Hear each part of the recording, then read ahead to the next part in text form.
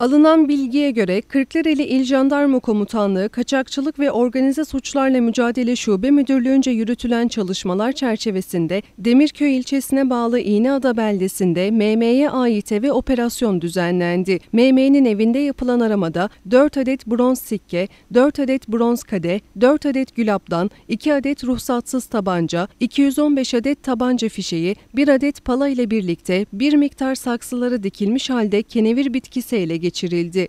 Olayla ilgili MM gözaltına alınırken 2863 sayılı Kültür ve Tabiat Varlıkları Kanunu, 2313 sayılı Uyuşturucu Maddelerin Murakabesi Kanunu'yla 6136 sayılı Ateşli Silahlar ve Bıçaklar Kanunu'na muhalefet suçlarından soruşturma başlatıldı.